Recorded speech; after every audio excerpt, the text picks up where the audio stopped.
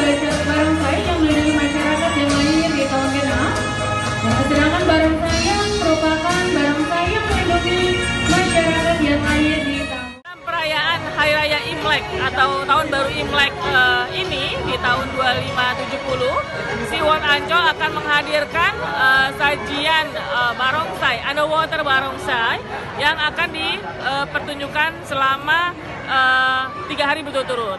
Nah, ini pengunjung bisa menikmatinya dua kali sehari, itu jam 11 dan jam 2. Jadi nanti akan ada uh, apa namanya pertunjukan uh, apa uh, kungfu dan juga ada juga barongsai. Garis besar ceritanya? Oh ya, ceritanya itu